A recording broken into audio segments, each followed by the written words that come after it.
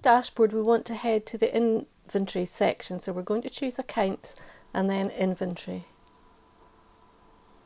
And then we're going to select new item.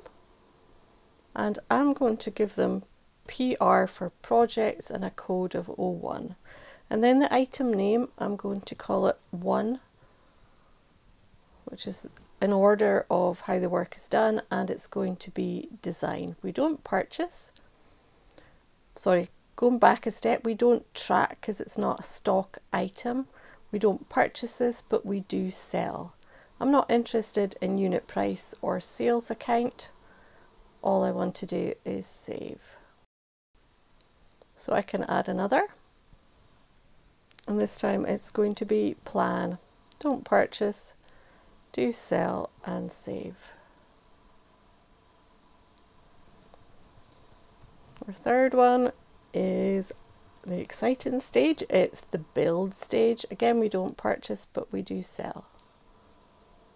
Finally,